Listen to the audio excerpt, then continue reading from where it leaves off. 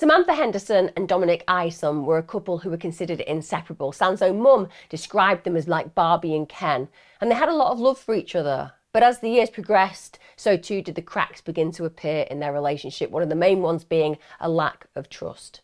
So when Dominic called the police one morning to report that Sam had left the night before and hadn't returned, there was immediate panic amongst her friends and family. This was so unlike her, and no matter what was happening in the relationship, she would never have abandoned her children. When her beaten body was discovered in a lake, the true sinister reality would emerge that Dominic, Sam's perfect man, had actually been responsible for her brutal murder. This is the murder of Samantha Henderson.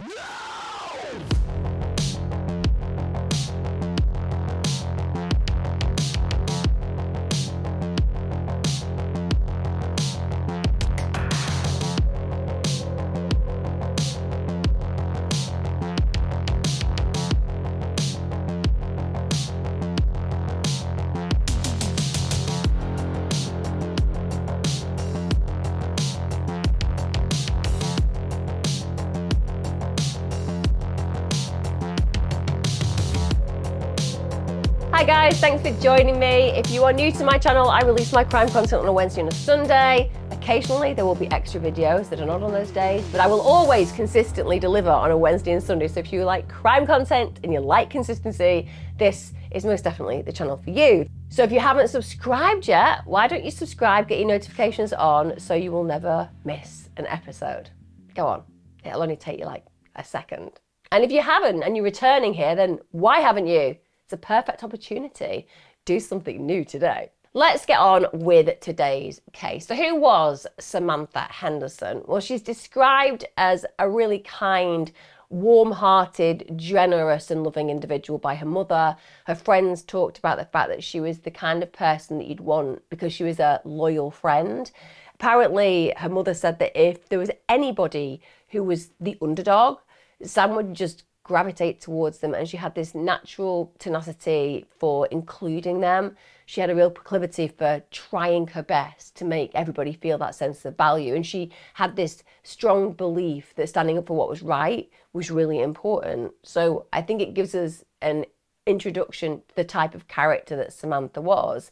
She's an individual who has those qualities about her that makes even the most ostracized individual feel included. And that says something very generous about her nature. Now, in early 2009, Sam has what I would consider is a sliding doors moment in her life. She sees Dominic Isom. And this is when she basically is walking along with a friend and he passes her in the street. And there's just something about the way he looks, the way he walks, just something that triggers that feeling of attraction towards him. And she immediately fancied him. So as she's walking along with a friend and chatting away, she finds out from that friend that she knows who Dominic Isom is. And she wants to get his number. She basically wants to be able to have some kind of connection with him because she's so taken by Isom and the way that he looks, and obviously has this intrigue about who he may be in her life if she makes contact. But her friend doesn't necessarily want to connect them because he's actually in a relationship. So this is not going to put Samantha off. She's decided that at the end of the day, she wants to know whether this could lead somewhere. So when her friend isn't looking and she's otherwise engaged, she sneakily goes on her friend's phone and gets his number. So that shows us a level of confidence that's relatively unusual. And it also means that she's somebody who goes out and tries to get what she wants to have in her life. So she's also clearly somebody who makes a decision and then works towards achieving whatever that decision it involves. So she's definitely got determination within her spirit. So she texts him and he responds. They immediately hit it off. And those text messages clearly get to a point where they feel that they want to see each other. So they meet up, and I would imagine it was a sense of fireworks because even though they are both in other relationships and they're both in scenarios where they shouldn't, by rights, be actually connecting with another person, these things happen in life. We all know they do. And I think that if there is a particular spark between two individuals, it can be very, very challenging to subdue that. And they are young, they are probably thinking about the rest of their lives and ultimately that those lives may be spent with the wrong person because they've got such a connection. So they do start to actually see one another. But because they are in relationships with other people, in the end, Isom actually texts Sam and lets her know that he cannot continue the relationship because they are actually seeing other people and he wants to make a go of the relationship that he's in. So they end up separating, but Sam really struggled with it. She told her mum that he was constantly on her mind and that she couldn't stop thinking about Isom, and obviously it created a real grief within her. And we all know that it's not right to get involved in other relationships when we're in a committed relationship ourselves. That goes without saying. But these things do happen. And for Sam, Isom represents more than a fling. He represents a future as far as she's concerned. So this constant ruminating and thinking about him is very classic when you have a fixation on somebody. It can almost feel obsessive because of the fact that you are not with them, but you feel that you should be with them, and you play out all of the dramas in your head because they're with somebody else, and it can be very overwhelming. And clearly, the fact that she can't let him go out of her mind, that's also going to amplify the feelings because you're living a one way narrative. So you're building pictures and possibilities that the other person isn't involved in, and you can create some pretty amazing fantasies about how it would be. And the problem with that is it's based not in reality but in fantasy. So you've amplified who they are and what they mean to you without really having a relationship to evidence that that's the truth, that that's the reality of the feeling that you have. Instead, the reality of the feeling that you have is based on a fantasy that you've created for yourself. And the problem with this is she's basically placing him on a pedestal and she's amplifying feelings that is based on that false idea. And the problem with that is that should you actually get with that person, so return to the relationship, you've built them up on these false representations within your head that they are never going to likely achieve what it is you want for them to achieve because it was based on the standards that you would have created if you'd have had it perfectly your way. And that's not how relationships work. So when they are separate, she's still very much connected to him. And like I said, lightly building these fantasies in her head, which is completely normal, but can have problems associated with it. Now, what Sam is unaware of to some degree is that Isom is also feeling exactly the same way about her he's reciprocating these feelings and he's missing her and he's grieving their relationship. And during the period that they are separated and they're back with their respective partners, he basically can't stop thinking about Sam at all. And in 2011, so this is a good two years after their initial separation, they basically meet up again at a gym. And it's immediate. All of those feelings that they've been trying to swallow down, they are very present immediately. And so there's this intensity right from the start and it moves really quickly. So as they get involved in the relationship again, bear in mind, as I said, they've both been thinking about each other for two years, missing each other for two years, believing the, how the relationship would have been if they'd been together for two years. So at this point, their expectations of how this relationship would be, it's in the stars. It's in pure fantasy land. And like I said, that is psychologically problematic because you're competing with an image of what you've created versus the reality of a relationship. And we all know everyone's been in a relationship. Initially, it's great. And then two, three, four years down the line, when you're like, I'm not sure that I should have to impart the advice about the floor not being a wardrobe it can grate on you, can't it? So if you've got this beautiful image of how they were going to be, they're very often going to fall short. Even early on, the likelihood is they're going to fall short. So this is what happens. They connect, it's passionate, it moves really quickly. They are fully intoxicated with one another. And so essentially, they want to fast track their relationship and where it's going. And Sam is really happy at this point, and it doesn't take long for them to get engaged. And her mum actually said, quote, you could see lit up her world and meant everything to her. And this is exactly what we'd expect to see in the beginning of a relationship because lots of different things are going on on a psychological and physiological level. You're thinking, is this person the person I'm going to procreate with? So it's primordial. You're actually considering is this individual somebody that I want to mate with?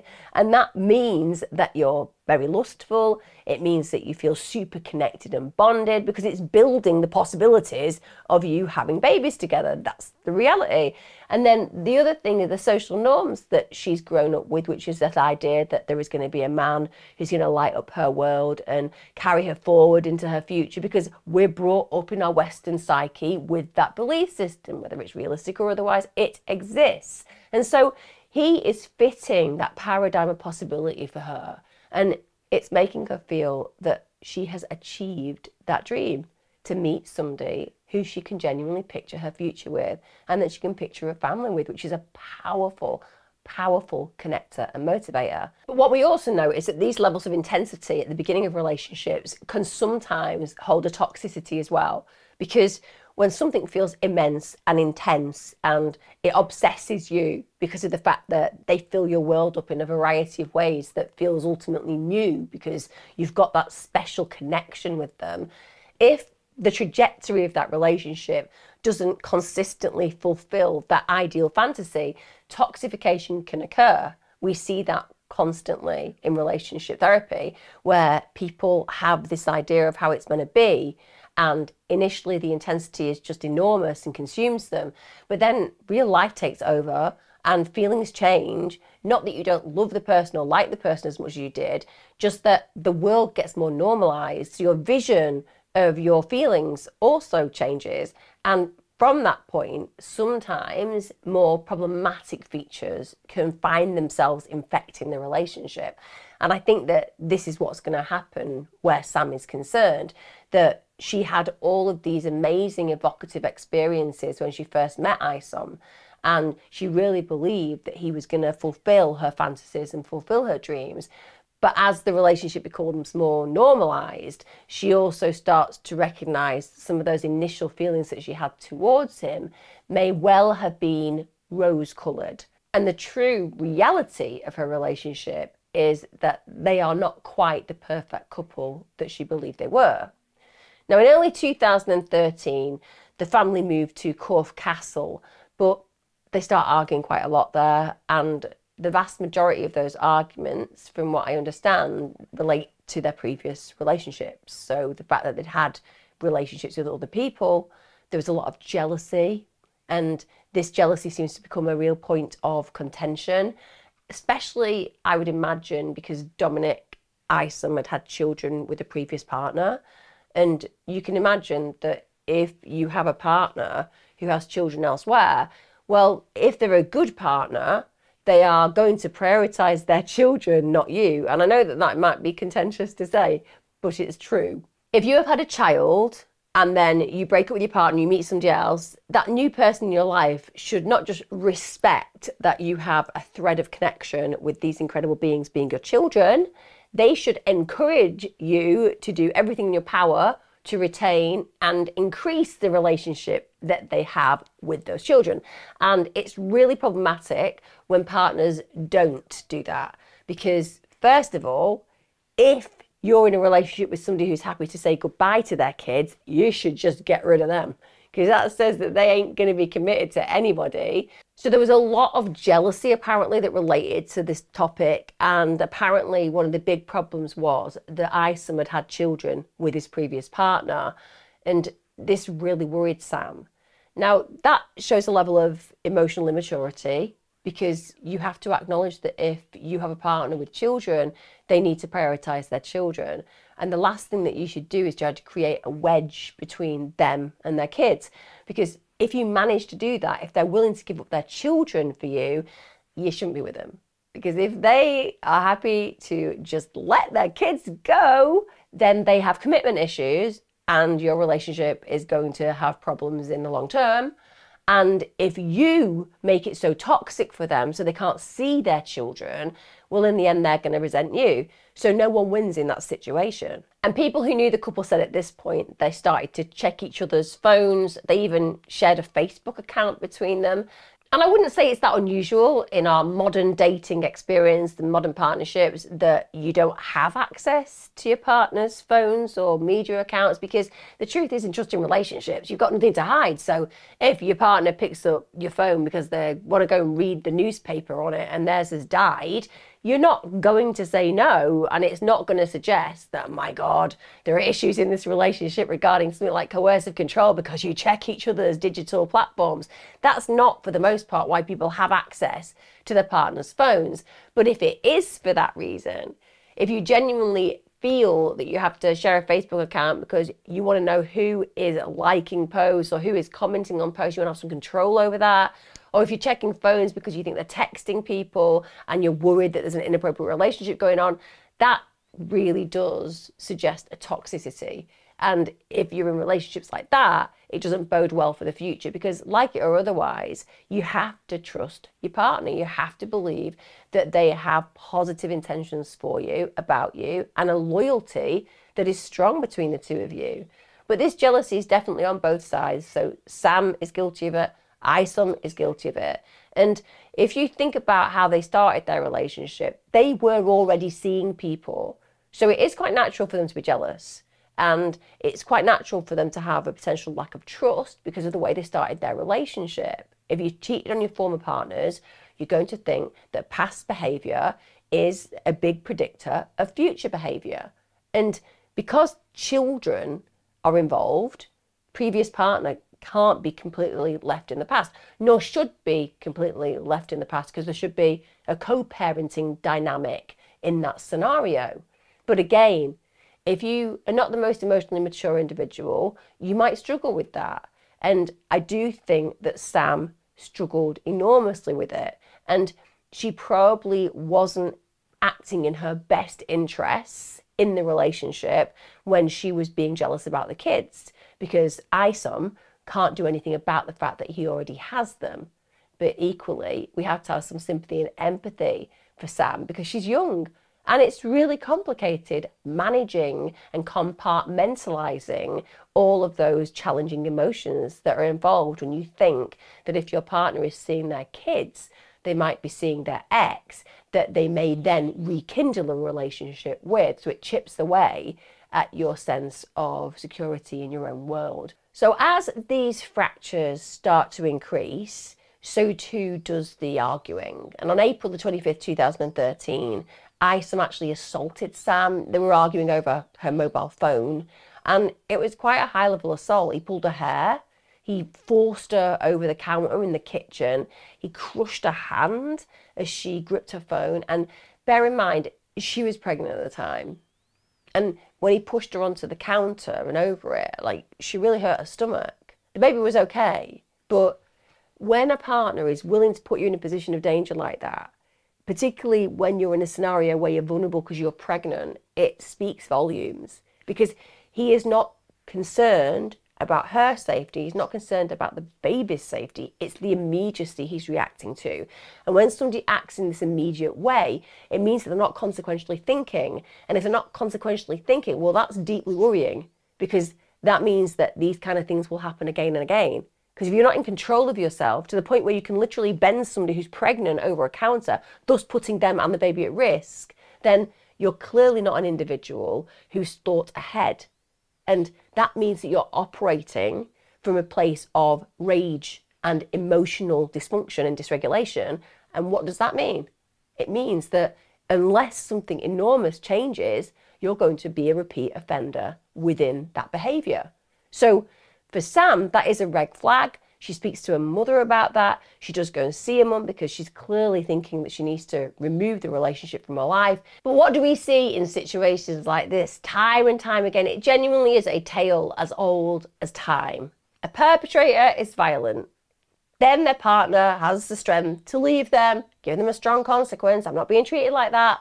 But that partner, bear in mind, has never experienced or endured the violence prior to this. So this is out of the blue. This is completely left field. This isn't in context with the way that he usually acts around me. So when he calls and says, I'm really sorry, I didn't mean it, I'll never do it again, for that partner who has never had them be violent towards them prior to this, that makes sense. And even though you might have heard other people talk about this is how perpetrators begin, they hit you, hurt you, apologize, it'll never happen again, a little bit of time goes by, then they hit you and hurt you, and so on and so forth. You always think it will be different for me. And Sam believes Isom. She believes that it's just one of those things, it got out of hand, it's never going to happen again. He professes his undying love for her, no doubt, and she returns. It is such a sad reality that women do this so often. And it's not because they're weak, it is not because they are stupid, it is not because they are victims. It is because they are loving partners who believe the best in the individual who hurt them and they believe the words when they say it's not going to happen again. And the problem with that is that the minute they go back to them, a boundary has been breached. And the psychological breach of that boundary for the perpetrator is I can do this and I can get away with it because they have been ultimately forgiven for the crime. It's why women die every single week in domestic homicide situations because they believed they wouldn't do it again. If only we were hardwired in a way that if somebody hit you or hurt you, the immediate response was to never see that person again. But life genuinely is never that simple, is it? So she's pregnant now. She's returned to him, obviously hoping to God that their relationship is going to thrive because they love each other, because love can be bad just as much as it can be good. And Sam's hoping that she's going to have a family and she's going to thrive and life's going to work out how she planned. In 2014, things are still not going well. She's really busy, she's working really hard, and she's actually starting to get a bit overwhelmed by the expectations in her life. And she's started to take antidepressants. She's got a really busy family life, and their home life is now getting more and more difficult. Her mother actually talks about the fact that at this point, Sam was surviving on energy drinks and cigarettes, and that mix is so toxic because energy drinks give you massive spikes of sugar and caffeine and that means that you have ultimately crashes and obviously cigarettes are not going to do very much for you at all. And what they are likely to do is to reduce your appetite further. So she's lost a lot of weight. She's working really hard so she's going to be in a calorie deficit She's going to be exhausted. She's going to be probably feeling deeply anxious and agitated because that's what energy drinks and cigarettes are going to do to you, the most stimulants. So she's on this cycle constantly of being on the psychological edge, so to speak. And that's indicative of somebody who's really struggling on an emotional level. To some degree, in our busy lives, we are all looking for opportunities to take things or be given things that are going to instantly give us energy and a kick because it's knackering. Life is a bit knackering, isn't it? We're all so many things to so many people, and it makes perfect sense that to some degree you might grab something like an energy drink occasionally because you're going to want that caffeine, you're going to want that kick, and it's going to be helpful momentarily. But when you are doing that day in, day out, you are self medicating it's a way of managing the emotional problems that you are having, but it's counterproductive. So Sam will have felt beside herself a lot of the time because of the stimulants that she's putting in her body, and it's reflective of her life not going in the direction that she wants it to go. But in this day and age, the truth is when people lose weight, you often get complimented. So you don't even get the reinforcement that's required to make you think this is something that I really need to deal with more effectively. This is something I need to manage because this is something that says my life is going wrong. Because lots of people will be saying how great she looks, and arguably to the outside world, that's going to potentially make her look more successful. And that is counterproductive because she's not going to get the right kind of support that she requires because this is about her life going wrong. This is about her life becoming more difficult, more problematic. So things are going on in her household. Clearly, the relationship between Isom and her is falling apart. And she's looking at how potentially they can move forward and cement their relationship with foundations that are actually going to last and where there can be a level of healing to the problems that they're enduring. So she hatches a plan that it would be good for the family to all move to Exeter because she decides that this is where there will be a new start for them. So even though there is a crumbling in her life, even though there is a crumbling even in her physical self, she is still hopeful. And it's really sad when you think about an individual who's been a victim. And we're talking about Sam in that context because there has been violence in this relationship. And the very fact that she is desperately thinking about ways to reignite potentially the sparks or reinvigorate a relationship that's fading, it means that she has a level of responsibility towards her family. And like I said, that's upsetting because it embodies a naivety about the potential harm that she's in. We get to 2015. Sam and Dominic Isom at this point are trying to conceive another child. They were actually talking about adopting a child. Bear in mind, Sam has four children already, and they were at this point only aged one, two, four, and six. That in itself is a huge amount of responsibility. People said that she was just an incredibly devoted and loving mother. She was a great mum. But can we just take a step back to imagine what that's like to have children one, two, four, and six? That's a lot of responsibility. That's a lot of energy required. That's a lot of focus as a parent. And don't get me wrong, Sam was incredibly devoted. She was very loving. According to everybody who knew her, her children were her primary focus. She was absolutely connected to them, and her main concern and priority was their well being and happiness. So she's great at being a mum. But I've got kids. And those of you who know me know that I've got a very new addition to my family, and it's absolutely the best thing in the world. But I haven't got four under the age of six, and one is brilliant, amazing, but also takes a lot of responsibility and work. And so she's really dealing with a very busy household, with the marital issues, and also with the expectations around the work that she's doing and how hard she's actually working to bring money in for her family. So this is an enormous amount of potential stress Add to that the fact that they're trying to have another child, and what does that tell us? It tells us there's almost a desperation, I would say. Because I think what Sam is trying to do is to connect them and embed them as deeply in this family unit so that Isom cannot reject her, cannot abandon her to make the fabric of the family so indelibly strong between them that he is going to remain. And I do feel that there are such deep insecurities where Sam is concerned. And I do not know how he was being towards her in the relationship because I was not there.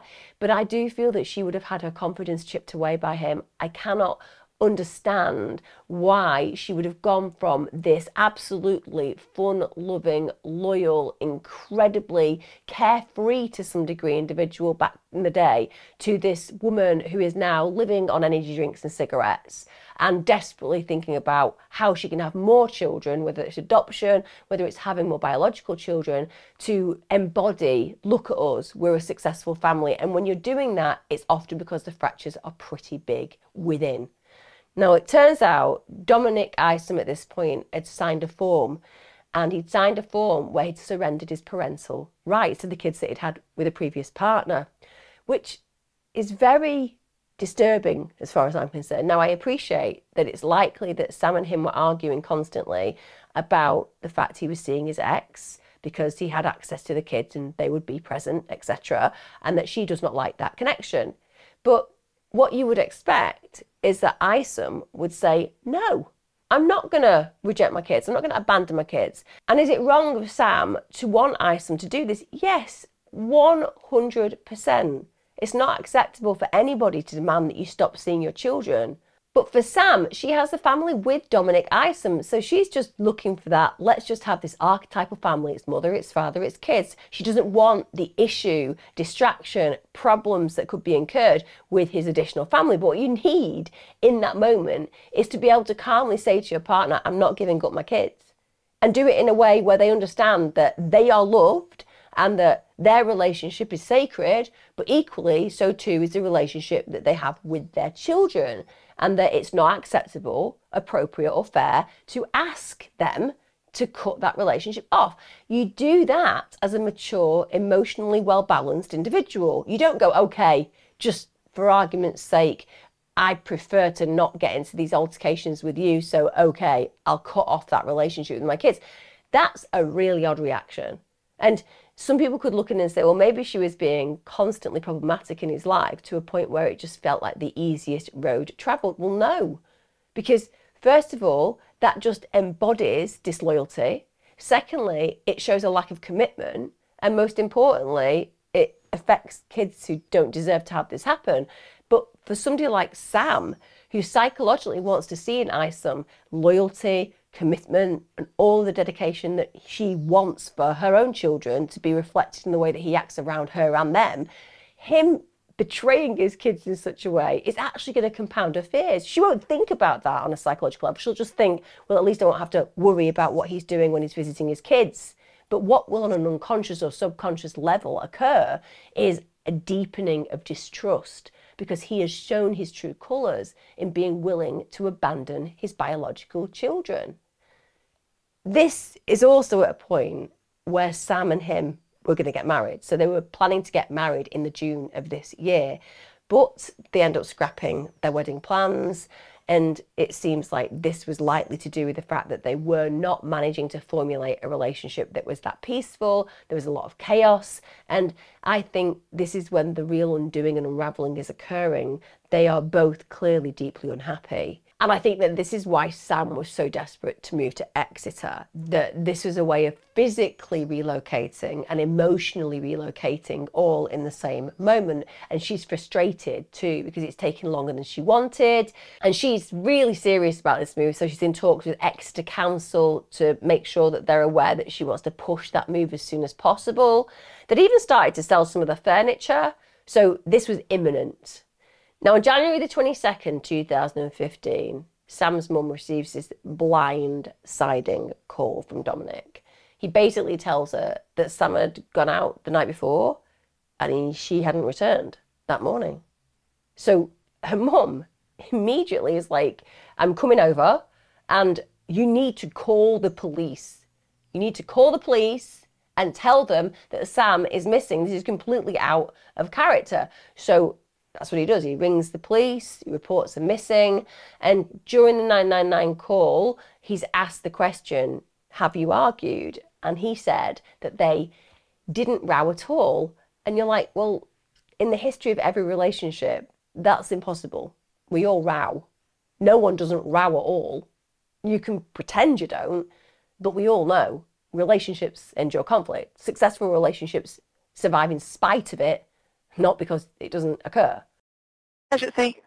Hi, uh, I haven't got any credit to phone the 101 number, but um, I've been told to phone you this morning. Um, but my my partner, my girlfriend's gone. Well, she hasn't gone missing, but she's gone. She went last night, and she hasn't come back this morning. We've got four children. I, I just spoke to my, my mum-in-law, her mum, and she just told me to phone the police. Right. So, what exactly has happened?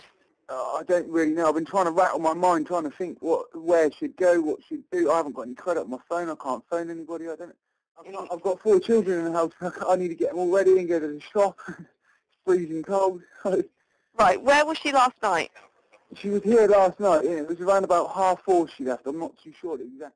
No, it wasn't last night. It was yesterday evening because it was dark when she left. I'm just my mind's all over the place trying to think. Yeah, where, oh, what I'm asking you is where she went. When she went out, where did she go? I don't know. I don't know. She didn't right. tell me. All she right. So it wasn't a planned thing. She wasn't on a night out with some friends. Oh or... no, no, no, no, no. She doesn't go out. She doesn't drink. She doesn't. We're we're like family. A couple, living couple. What's what's the matter? So there's something you're holding back. No, I'm trying to think what it'd be. Uh, they haven't spoke for months, but I'm right. trying to make sure my kids are all right because they're all in the front room. I've got a one-year-old, two-year-old, just a four-year-old, and six-year-old. Right. Okay. What's your girlfriend's name? It's Samantha Henderson. Samantha Henderson. Yeah, she recently changed it to then, but you probably got her on the system as Henderson. So no, I wasn't. I didn't even think about phoning the emergency because she hasn't been gone for 24 hours. But I'm getting quite worried now. Is it unusual for her to go out in the afternoon not come back all night? Um, well, she's never done it before. She's never done this before. In the whole like three, three and a half years we've been together nearly, she's never done it. She's gone off and she's gone for a couple of hours and and she come back and she might be alright, but it's never done. It's never done like overnight. And Right. So when she left yesterday, what was said beforehand? um, she couldn't handle things. That everything's getting way too much. That uh, nothing's going her way. It's not happening quick enough. Right. But I've been trying to rattle my brain all night last night, and Okay. So you two didn't have a row exactly, but she was really No, down no, yesterday. No, no, we haven't. had- We haven't had a row. We haven't had. No, we didn't row at all. Also, he's now sending Sam text messages saying things like, Sam, I can't do this on my own. And I fell asleep at the window last night, waiting for you to come back. Now, call me a little bit on the suspicious side, chaps, but if I see messages like that, I feel like this isn't for the person who's meant to be reading it. This is dramatic. It's a touch of the drama, isn't it? It's sounding very much like from a Shakespeare play. Oh, I can't do this on my own. I fell asleep at the window last night, waiting for you to come back, and so on and so forth. Forsooth, my lord. Do you know what I mean? It just feels a little bit too dramatic. Also, he was leaving voicemails, and in his voicemails, he's crying and he's, I need you back here, Sam. I love you so much. Please come home. So just bear all this in mind. Bear all this in mind. Because for me, it's really symbolic of an individual's character when they can play these things and act in this way. It's like a role that they've decided to take on. And it speaks of something really dark and malevolent when we actually look at the reality of what's played out. But Sam's mum really does know that something pretty dreadful has likely happened to her daughter. She just has that feeling. And most importantly, she is very aware that this is not the way that Sam would normally act. And to anybody who loves anybody in their family, you have a system of understanding about the way that their actions are. And when they deviate from that, it's disturbing because it's unusual. And when it's unusual in this way, often it speaks of something sinister that's played out. Now, when the police question those who know Sam, it turns out that she'd been seen by others about 3 p.m. the day before, so that was January the 21st, and she was seen collecting her kids from school. Now, time wise, just after it seems that her phone battery had been removed from her phone, so that was just before 4 p.m. Then at 4:30 p.m. that same day on the 21st, Sam's friend Kelly drops by her house, but Sam isn't there. Dominic Isom answers the door and he literally says to her friend, Sam's gone and done one, indicating that Sam has purposefully and willfully left of her own volition. But Kelly is like, this feels really off. And one of the things that strikes her is there's this strong smell of bleach in the house. Then, as she's leaving, Isom actually says to her, I'm sorry for everything. This stays with Kelly because it's out of character for him to act this way and it's unnerving because now she knows that her friend isn't present. There's this smell of bleach and Dominic Isom is apologizing for everything, but there isn't necessarily anything that she's expecting an apology for. On January the 23rd, Dominic Isom is taken in by the police and interviewed. He was asked to go to the station voluntarily, and he does, because bear in mind, he's the last person to have seen Sam, so he needs to give a witness statement, give them all the information that could help him bringing her home. And it's literally that same day he's arrested in connection with Sam's murder. So they move quick. And he says, I don't understand. I haven't done anything to Sam. And then he literally begins to cry. So he's playing the card at this moment in time that he has been wrongfully arrested. He doesn't know what on earth the authorities are on about, and that he's very distressed by this. So, again, playing this role, acting as if he's an innocent bystander in this awful scenario where his lover, his partner, his wife to be has just disappeared, and now people are blaming him for it. Then we get to January the 24th. This is where he's interviewed again. He's had a little bit of time to think, hasn't he? A little bit of time to think, a little bit of time to think about the movements of the day where Sam disappeared. So he then comes up with this story and says, okay, I'm going to be honest with you now.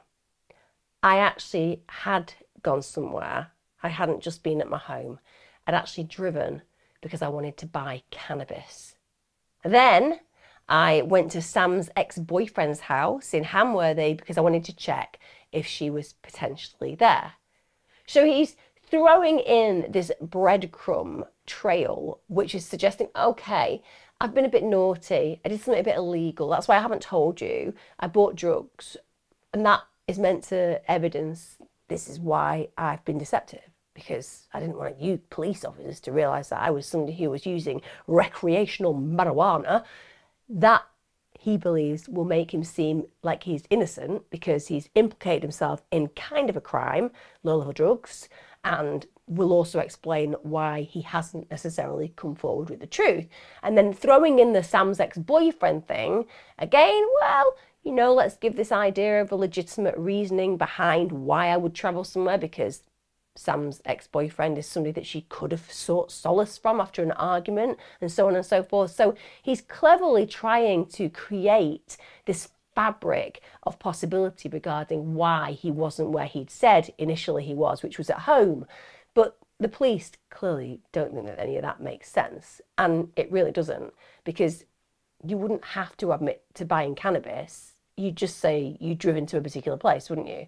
So the police are quickly onto the fact that that makes no sense.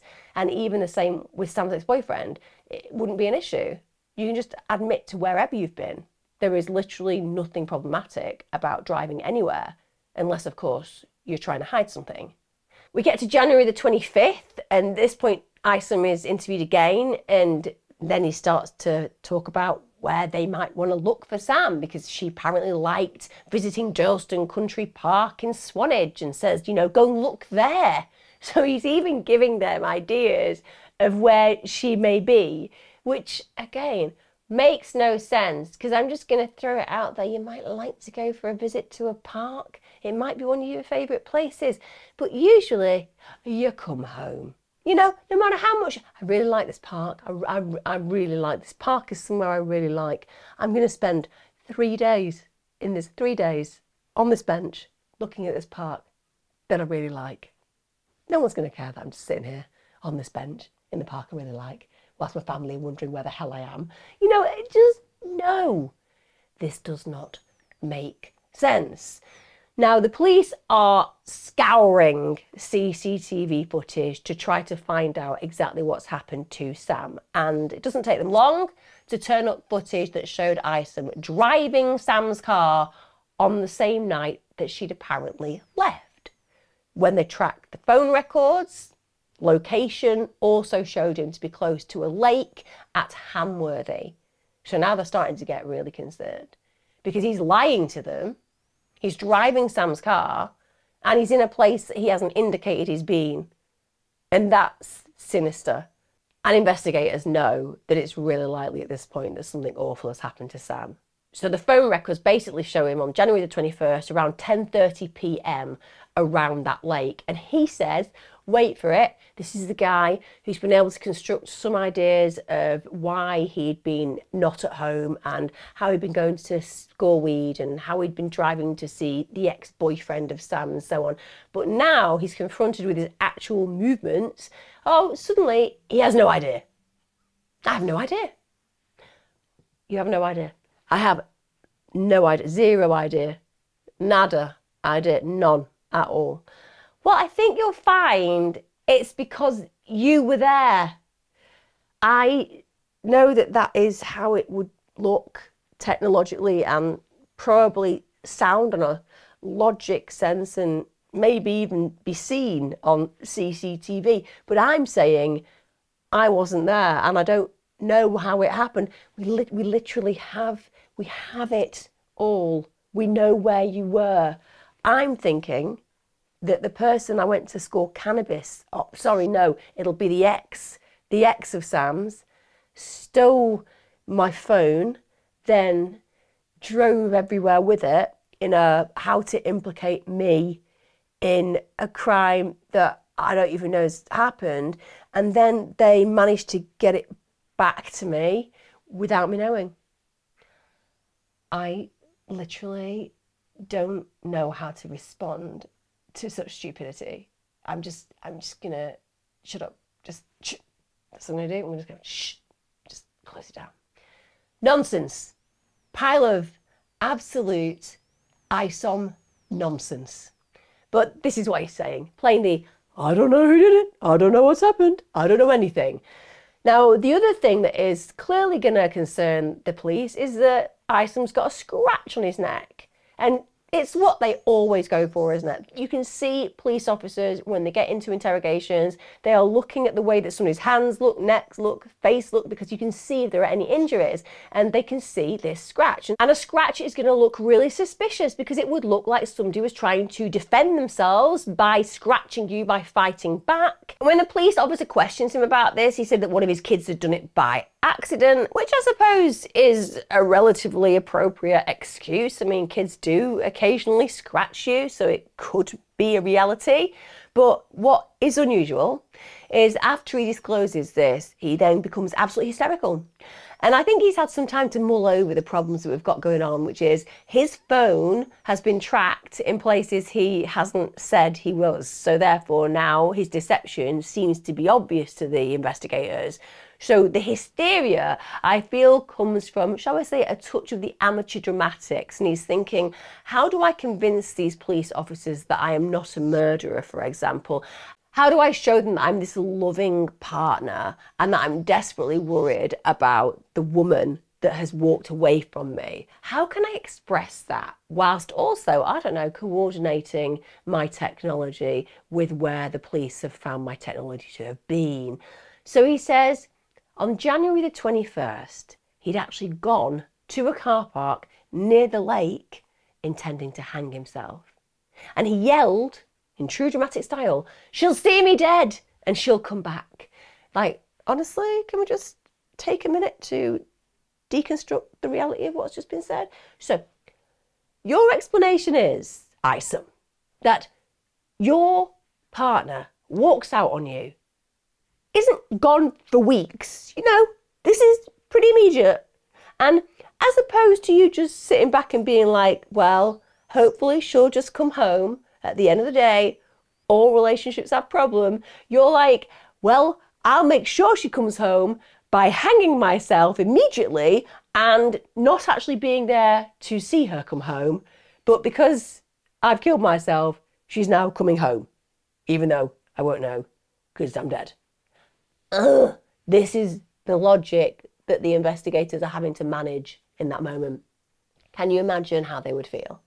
I know it's not appropriate to slap somebody across the face in an interrogation, but you know, in the true 1920s style where somebody gets a bit hysterical, you just give them a good smack across the face to bring them back to their senses. They'd get sued now they'd, they'd lose their jobs, wouldn't they? But back in the day, that was just seen in an appropriate manner to manage a situation such as this. Maybe with Isom, you do it quite hard as just for good measure to make sure that he definitely came back to his said senses. But you can see this makes no sense whatsoever. If he killed himself, he'd never know that she came home. If he killed himself, his kids wouldn't have a father. If he killed himself, she, who may, in this scenario, in a normal situation, just have gone for a breather, would also be dealing with the suicide of her partner and probably blaming herself. So none of that makes sense whatsoever, but he's desperately trying to create and carve this scenario which makes sense of where his technology has tracked him. Sadly, on the 30th of January, the police are proven right and Sam's body was found in Hamworthy Lake by a team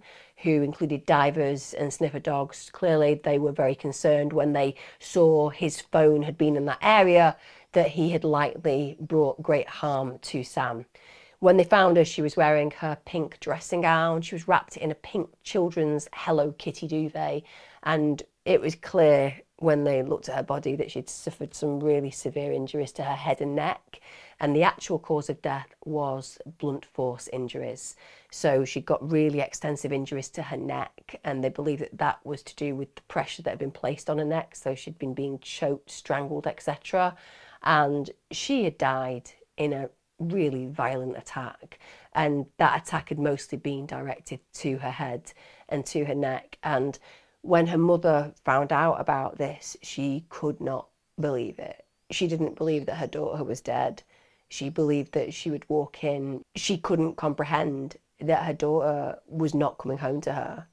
she just couldn't believe that the child that she brought into this world had been taken in such a monstrous and diabolical way by a man that she had had within her life because Isom is obviously a violent predator and her mother did have concerns about him. She knew that he'd been violent to her before. She certainly didn't stop her from going back to him, but that was because she felt that she had to allow Sam to make decisions over her own life. It didn't mean that she was happy with her returning when he'd been violent to her.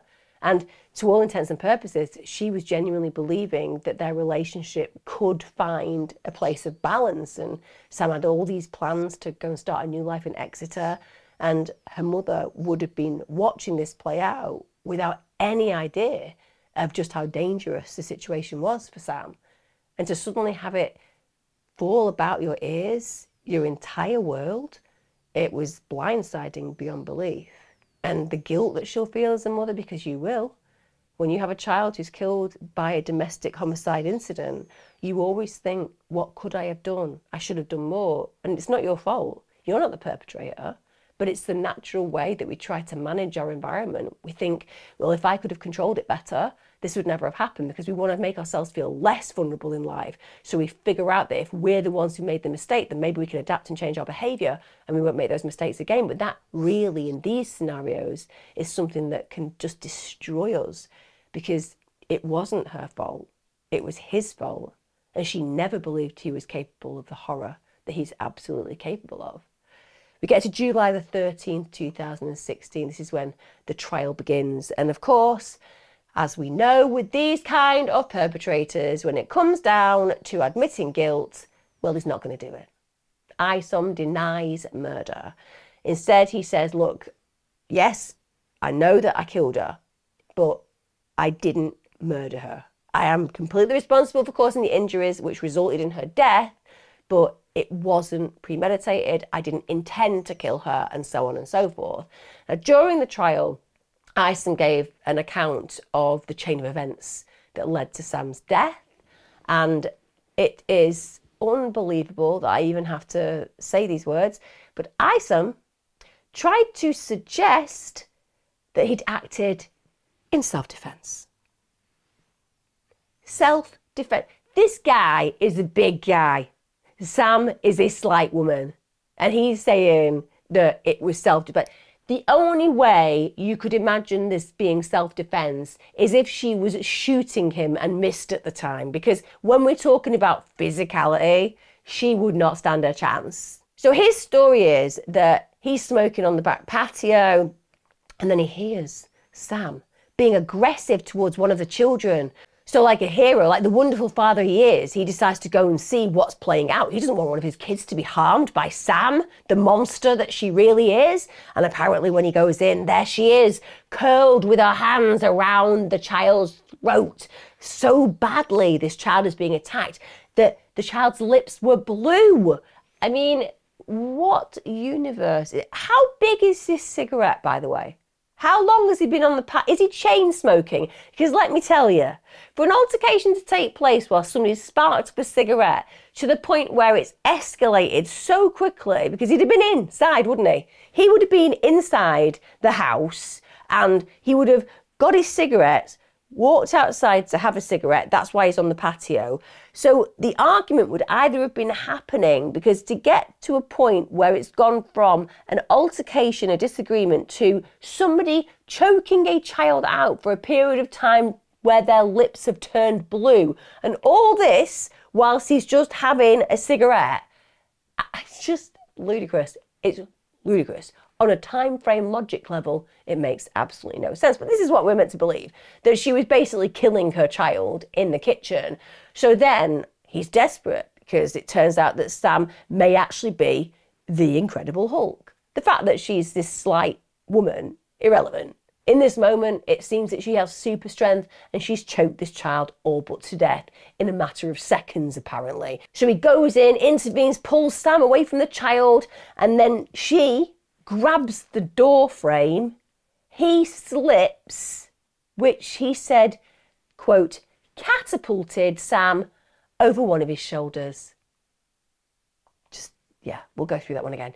So she grabs the door frame, he slips, and then somehow that movement catapults. Remember what the word is? Catapults. You know what a catapult is? You know, where you pull it back and somebody just like flies over, like in some kind of circus act. Catapults her over one of his shoulders. And at this point, she's catapulted clearly very fast and very hard. And she allegedly hits her head on the shed, which was in the garden. And this causes a 9.5 centimetre cut on her forehead because of the impact of this. Like, just work that out. So we are actually meant to believe that somehow the slip projects her over his shoulder and she impacts so forcefully on the shed door that now she's got this huge gash in her head. I kid you not. At that point, if I had been listening to this in court, I would genuinely have had to get a taser. No, sorry, you're not allowed to do that, Emma. It's illegal. You'd never have got through security. You know what I'm saying, though. It's a bit frustrating. I wonder what the prosecution were thinking. Probably, oh, thank God I took this case. I am going to like destroying this man. And the defence would be sitting there just internally shaking their heads, going, why? Why? Why? Why did I become a defence barrister for this case. Why? Nothing about this story is made. Catapults over the shoulder. Unbelievable. But yeah, now it gets even better. Because you would imagine if somebody's been catapulted over somebody's shoulder, smacked the head really hard on a shed, gashed the head to a startling degree, you know, 10 centimetre gash basically means that that person is going to be in agony and also potentially in imminent danger of losing their life. But no, not Sam. Sam, at this point, grabs him by the throat and says, I'm going to kill you. I mean, this isn't just ludicrous, it's actually embarrassing. And if this wasn't in reference to the murder of a defenseless young woman, we could almost see it as comedic because it's so ridiculous. But we are actually talking about this in reality of a murder and he somehow believes that by deriding her reputation as a mother in court and by lying about the violence that allegedly she engaged in, that he may just get off with this crime. What kind of a human being does this? What kind of a human being goes out of their way to literally try to tarnish the reputation of an innocent woman who's died horribly in a way of saving himself? It's just grotesque. As it is grotesque that earlier on he is deflected and lied and tried to make out that she's abandoned the family and that he's the victim, almost taking his own life, and so on and so forth. This individual is an absolute liar beyond belief. And now we're expected to have this belief that she had the physical strength and domination to scare him and even if by some bizarre miracle she was able to get up after being so badly injured and grab him around the neck with her hands and say, I'm going to kill you, physically, he would have been able to restrain her and remove those hands immediately because there was a complete power imbalance. Physically, he was so strong. So he then says, at the point where she's done this, he decides to put his hands around her neck, which must have, quote, accidentally caused her to die accidentally. Yes, you just accidentally. if if you're not three times a week accidentally causing somebody to die, what are you doing with your week, guys? I mean, we've all done it, haven't we? We've all accidentally caused somebody to die, particularly with our own hands. You know, if I'm not accidentally choking people to death, I don't know whether it's a Wednesday. It just makes no sense. But this is what he said, just casually. It's like a casual. I casually killed somebody. I just casually killed somebody. I didn't mean to. I just, I casually, I casually choked them to death with my arm, or casually choked them to death with my hands. It was just casual. It was an accidental, casual error. That's all I'm saying. Let me go. Let me go. Ugh. Anyway, again, this is what he says that he casually, sorry, that's me saying, he accidentally caused her to die and he didn't mean to do it. Apparently, Sam was slumped against the wall of the shed at this point. Her head was bleeding very heavily. And he then thinks, well, what am I going to do? So he goes inside and he locks the door so that she can't get back inside. And he said, at this point, he said, I just wanted to get away from Sam. What? You accidentally killed her, but now you're locking her out, even though she can't come after you, and you want to get away from her. you've just killed her. It's a really odd reaction, and even in court, it's making no sense. Then he apparently changed his clothes, checked on the kids, goes back and clarifies that she's basically unresponsive, doesn't have a pulse. At this point, you would think, I don't know. Let's just go into the realms of what Isom is trying to weave a web of here. Let's just give him the good old benefit of the doubt and say he went back after believing that he'd just choked her out and given himself some distance from her because she's become this violent individual that he's never known before in their relationship. He's locked himself in the house, made sure the kids are safe. Remember, he's a hero, making sure the kids are safe, particularly the one who was no doubt near death because their lips were blue because someone had apparently been choking that child. But then he goes out, sees whether she's calmed down, finds that she's dead. What are you going to do? Bear in mind, you're innocent. It's not your fault that she was catapulted into the shed. It's not your fault that you choked her to death whilst you were trying to protect yourself from being killed by her. You've got lots of reasons for defense. Oh, she came at me for no reason. She threatened to kill me for no reason. I had to protect myself. This is a complete accident. And so on and so forth. You would just be like, emergency services, call the emergency services. You've done nothing wrong. You're an innocent victim. But that's not what he does. He doesn't attempt to help her. He doesn't call an ambulance. He doesn't do any of the things that an individual who is innocent would do. Instead, because he's this victim and he's done nothing wrong, he wraps her up in polythene and a duvet, then puts stone slabs in with her to weigh her down, also puts her phone with the battery taken out in there with her, also his slippers they've been covered in blood and he was wearing those. So basically, he put those in the package with Sam's body. Then he cleans up the house using bleach and water because that's what every innocent person does who's done nothing wrong, isn't it? I'll just get rid of any incriminating things from the scene of the crime because there wasn't a crime, right? You were innocent. Why would you be cleaning up? But then he puts her body in the car with everything I've just said, drives to the car park at the lake. Then he wades into the lake and dumps her body in the water. The mother of his children. He literally weighs her down, hoping that her body will sink to the bottom of the water, never be found, and it will just seem that she had willingly abandoned her kids. And all this, even though he's an innocent individual. Like, we see crimes of passion happen. We see individuals make horrible errors and it causes the loss of life. And we see that they call the police and they admit their guilt and they are broken because of it. And doesn't excuse it. They're still a violent perpetrator. They still absolutely 100% deserve what is coming to them with a very strong, long sentence.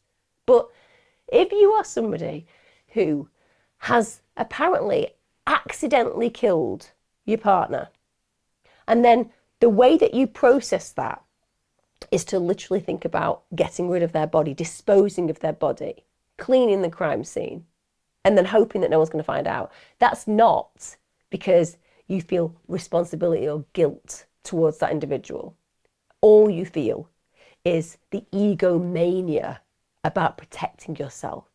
The only person that matters in the world is you, your freedom, you don't care about the fact that kids have lost a parent. You don't care about the fact that you've stolen the chance for the family to say goodbye to that person because if the body's never found, they'll never have that closure. All that you care about ultimately is your freedom. And if you didn't intend to kill them, then why would you go to such lengths to cover it up? Prosecutor Ian Laurie, he just ripped the explanation that Isom gave apart. He said it was the weirdest explanation. He said it was peculiar, frankly bizarre, and didn't make sense. He also commented that Sam would have been absolutely stunned after sustaining the wound to the head because it would have been bleeding profusely. It would have been very traumatic for her. And he said that it would have been easy for Dominic to push Sam's hand away from his neck because physically he was so much stronger. He also questioned how the hell Sam had been catapulted into the shed. He said, You're just making this up, and it's obvious. And he said that all the explanations that he'd given could not withstand scrutiny. I mean, they're laughable. And like I said, they genuinely would be comedic if we weren't talking about such a reprehensible reality that this woman, this mother, this loving family member had lost her life so horribly. It's also established that all of Sam's injuries wouldn't have been caused by a single accidental slam into the shed because, understandably, that injury would be one, and there were more. And there were very few, if any, defensive injuries. So that demonstrates that, as opposed to her apparently going for him and fighting with him, that she was obviously overpowered because there wasn't defense wounds. She hadn't put up a struggle or a fight. She'd obviously been incapacitated very quickly. Now, when the prosecution asked Dominic Isom to explain all the other injuries that Sam sustained, this is where Dominic Isom suddenly has convenient amnesia. You know, I remember this bit, but not that bit. I remember the bit that makes me look like a victim, but not the bit that makes me look like a perpetrator. I remember the bit that makes my story add up, but the bit that makes it fall apart, I don't have any memory of that whatsoever. And the prosecution are really frustrated because it's very clear that he's doing the worst cover up possible, but nonetheless, he's still trying to cover up his crime. And if you're trying to cover up your crime, you're not taking accountability, you're not being responsible, and that means that you're a very dangerous human being. So he kept repeating when he was questioned about those injuries I don't know, I don't know, I don't know. And he flat out refused to admit that it hit Sam. Sam's blood, by the way, was found in the shed. It was found on a lawnmower. It was found on shelving. It was found on a bike. It was found on a football. And the spatter patterns of the blood indicated that Sam had actually been on the floor of the shed. And that's where she was attacked by Dominic. And the aggression and violence involved in that attack is demonstrated by how her blood had been splattered over all of those items. Now, Detective Inspector Neil Devoto, he described the attack as cowardly, brutal, and sustained. It's an absolutely horrible reality that those last moments that Sam endured were on that cold shed floor being killed by the man that she simply wanted a future with. Dominic said that he didn't mean for any of it to happen. But what I think he's saying there is that he didn't mean for it to happen because he didn't mean for him to get caught. You know, on reflection, it screwed up his life and he's egocentric. He cares about himself and everybody else. We know that because he gave up his kids, for example, to give him an easier life. That's the kind of individual that we're talking about right now. So saying he didn't mean for any of it to happen is merely reflective reality. He's looking back and thinking, well, life's not going to be very good for me now. I wish I hadn't done it. He's not thinking about stealing Sam from her children. He's simply thinking about the freedom that he's going to lose. When he's questioned, well, okay, why didn't you actually talk to the police about the apparent accident? He said, oh, well, I didn't talk to the police about that because I didn't want the kids to have no parents. Well, sorry, first of all, you've given up your own children, so you don't seem to have a problem with that anywhere else. But also, you hiding the body, you've made it worse. You've implicated yourself far deeper. And you would have been willing to deny the children knowing what had happened to their mother. They would have believed that she'd just walked out on them. And that's a mental scar that a child shouldn't have to carry when it isn't true. And they also question, well, if that's the case, why did you spend so much time lying to the police? Why did you deliberately mislead the investigators? Why did you choose not to confess? And he said, I was too much of a coward to admit it. I knew what needed to be said, but I didn't do it. Yeah, okay, fair enough. But why then did you make all those numerous phone calls? You know, you literally rang up and left messages on a phone of Sam's saying that you missed her terribly, that you wanted a home, that you were crying by the window, that you almost took your own life, and so on and so forth. This fabric of deception is enormous. This is when you knew that you had killed her. So, understandably, nothing that he's saying is making any sense whatsoever. He went out of his way not just to fail to admit what had happened, but to try to cover it up to such a degree that he was making false phone calls to Sam to try to suggest that he was grieving for her leaving him when ultimately he knew that he'd murdered her on the shed floor. And he also called around places like he called friends, he called businesses where Sam worked, even called Exeter Council because they're planning to move there. All of this is another attempt to divert blame away from himself. And as his phone records would show, he was tirelessly trying to find her according to all those calls he made. But he knew she was never coming home. Sam was dead because he'd killed her. Dominic Isom was sentenced to life in prison. He was sentenced to 17 years minimum. Judge Dingeman said that there were a lot of aggravating factors in this case. So, first of all, he'd attacked Sam in the past. The fact that he had a body after killing her, the numerous lies that he told, which just prolonged the agony of the children and the family.